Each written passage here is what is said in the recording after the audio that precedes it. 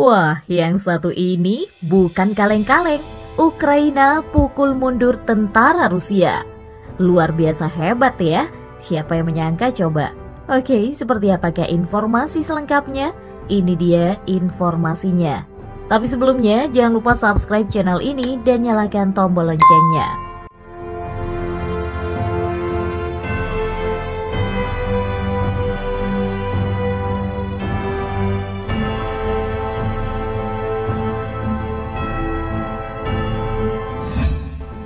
Militer Ukraina dilaporkan mulai berhasil merebut wilayah dari pasukan Rusia.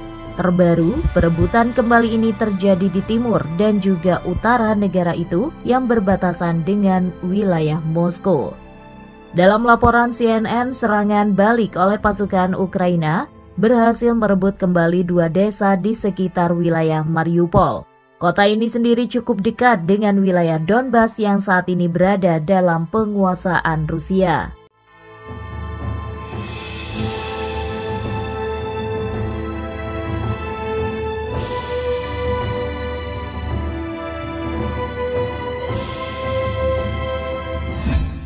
Pemerintah Ukraina mengatakan Batalion Pertahanan Teritorial Melitopol bersama dengan unit lain dari pasukan pertahanan Zaporizhzhia telah berhasil membebaskan desa Poltavka dan Malinivka di sebelah timur Hulyai Pole dari penjajah Rusia. Hal ini sendiri juga dikonfirmasi oleh data satelit sensorik dari sistem informasi kebakaran NASA. Terlihat ada pertempuran sengit antara kedua pihak dalam dua hari terakhir yang diiringi 14 kali ledakan.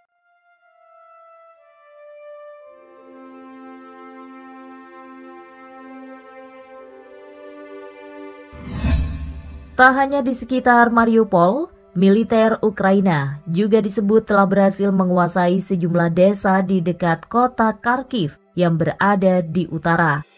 CNN telah melakukan geolokasi dan memverifikasi video yang menunjukkan pasukan Ukraina mengendalikan Vilkivka, salah satu permukiman yang berjarak sekitar 32 km dari perbatasan Rusia.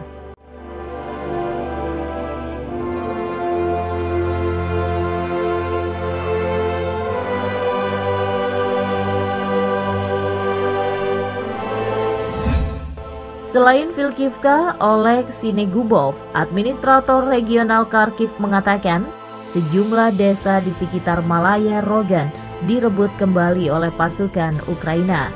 Desa-desa tersebut kira-kira 20 km dari Kharkiv. Ini juga ditunjukkan oleh verifikasi video. Dilaporkan kantor berita yang berpusat di Atlanta, Amerika Serikat, dalam video itu, baku tembak antara pasukan Rusia dan Ukraina terlihat di antara rumah-rumah dan halaman belakang desa. Pada satu titik, pasukan Ukraina bergerak menuju sekolah desa, di mana pasukan Rusia tampaknya bersembunyi.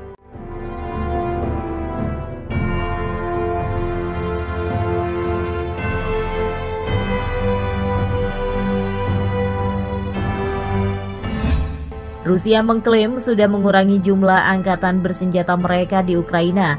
Hal itu disampaikan langsung oleh Wakil Kepala Pertama Staf Umum Rusia, sekaligus Kolonel Jenderal Sergei Ruskoy yang mengklaim kepada publik. Rusia menyebut hal ini dilakukan karena tidak mengalami kemajuan di kota Kiev dan Kharkiv. Rusia juga gagal mencapai superioritas udara di Ukraina dan telah menderita kerugian besar dalam hal kehilangan jumlah personil sejak awal agresi.